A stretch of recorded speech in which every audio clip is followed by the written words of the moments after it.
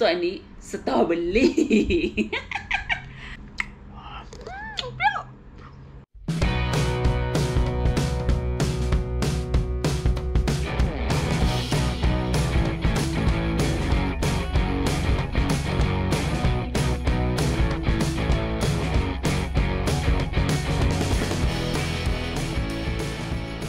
Hi เอลิน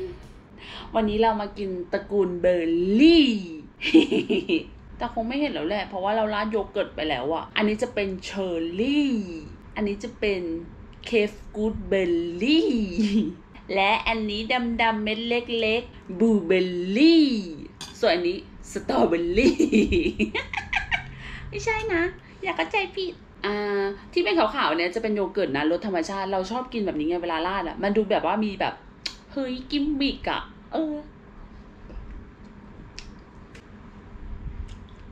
เชอร์รี่มันมีเม็ดนะ เอาโยเกิร์ตนะรสอะไรก็ได้ที่แบบ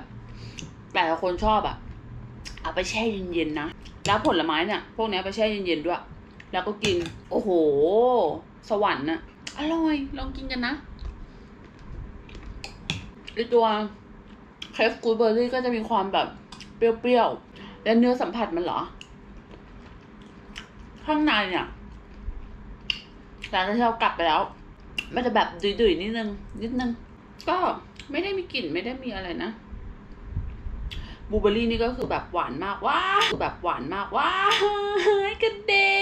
นพยานไม่ทันเห็นไม่เป็นไรไม่เป็นไรไม่ต้องซีเรียสบ้านเราเองอืมบลูเบอร์รี่ก็อร่อย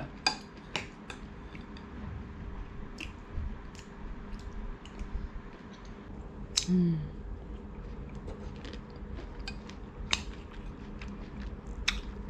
อ่ามีความเปรี้ยวอะ อากาศร้อนๆเนี่ยกินอะไรอย่างเงี้ยสดชื่นนะเราว่า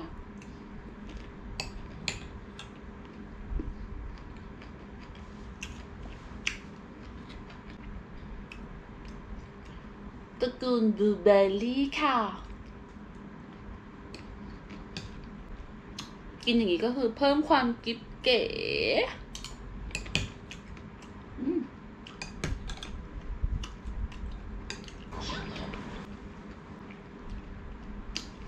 สินค้าออนไลน์ สั่งเก่งมาถูกจังหวะเอาสามอย่างตบท้ายดีกว่า